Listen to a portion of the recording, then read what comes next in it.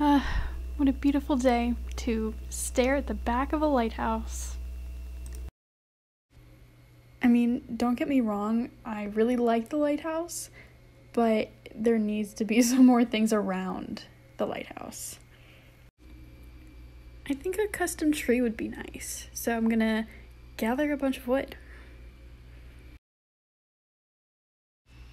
Alright, if I want to be able to see it out of this window, then I think over there on that hill where that tree is would probably be a good spot.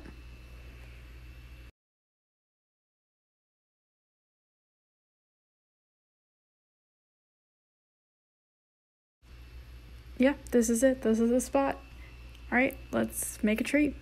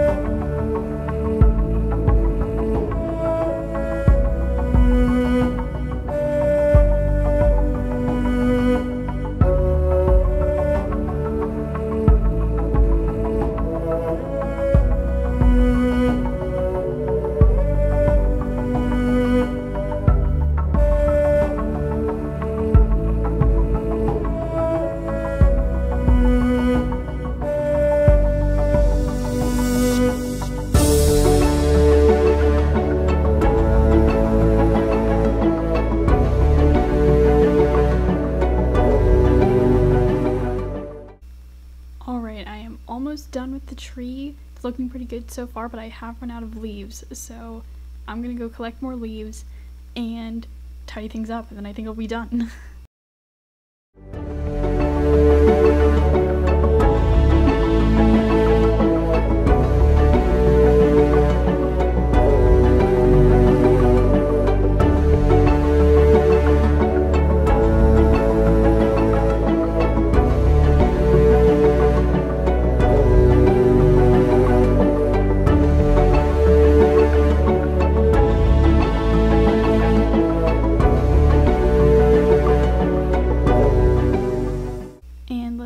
the view from the roof. Oh, look at her.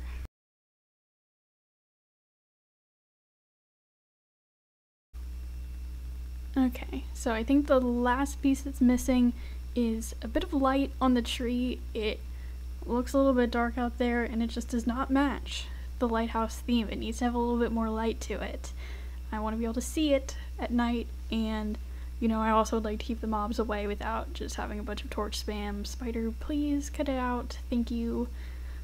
So if I just add a couple chains and put some lanterns at the end of it, then hopefully that'll just give it a little extra something, make it seem like less of a natural tree and more like something that was intentionally kept here and taken care of. You know, like like kind of like having a a tire swing, you know, like that level of I'm not gonna say domesticating a tree because that doesn't really make sense, but just that idea of the tree is there intentionally and it could have been cut down, but instead it's like it's being kept there on purpose to add to everything. It's already looking so good. Okay, I'm thinking probably two more chains, although I only have four chains left.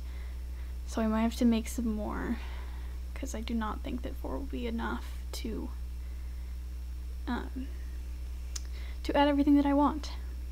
But I can get three in, maybe maybe save a bit more chains and make the third one a bit shorter, but yeah. Um, I'll I'll try I'll try adding the last one with two chains and then I'll probably have to make more chains.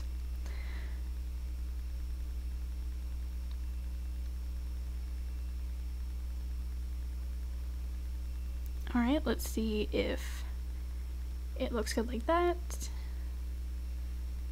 After I just, you know, dot a few more lanterns around, because I don't think I want to put any more in the trees, but it's looking pretty good, but I, I do think we need a couple more chains. Just a couple. Nothing crazy. Yeah.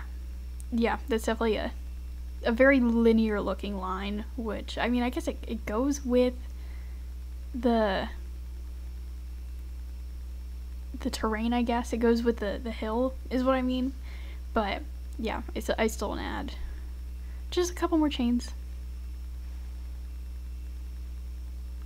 Need some iron. I already have some iron nuggets on me from the last chains. So if I just grab the two more and just run back up real quick. So only take a second. Hello, sheep.